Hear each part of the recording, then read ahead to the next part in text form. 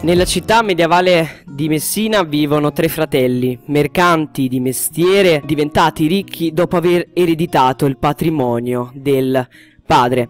Questi hanno una bottega dove è impiegato il giovane Lorenzo, dal bell'aspetto e dai modi amabili.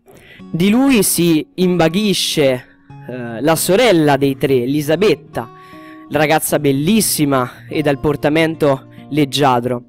I due si innamorano perdutamente, facendo di quello che più desiderava, ciascuno. Mentre uno dei tre si dirige verso la camera della sorella, li sorprende. È una verità troppo amara da ingoiare. Una ragazza dai modi amabili e dal portamento leggiadro farsela con un vil garzone. Non sia mai.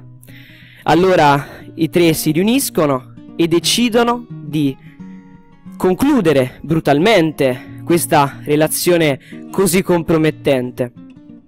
Convincono il Pisano a seguirli fuori città, dove lo uccidono e lo seppelliscono. Elisabetta precipita nel dolore nella sofferenza.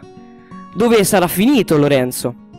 Nella stessa notte il ragazzo le appare in sogno e le rivela tutta la verità.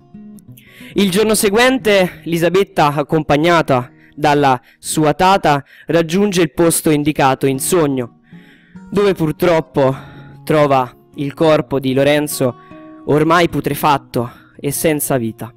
Elisabetta priva il corpo della testa, che pone in un vaso nella sua cameretta e con cui concima questa piantina di basilico. Dopo grandi cure e attenzioni, la pianta diventerà alta e profumatissima, simbolo della presenza viva di Lorenzo. Tuttavia i tre, scoperta la testa, decidono di seppellirla immediatamente, lontano dalla città, così da non essere nuovamente ritrovata.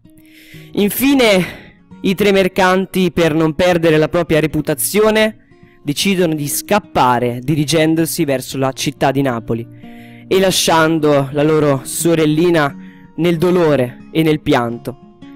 Infatti muore con le lacrime agli occhi.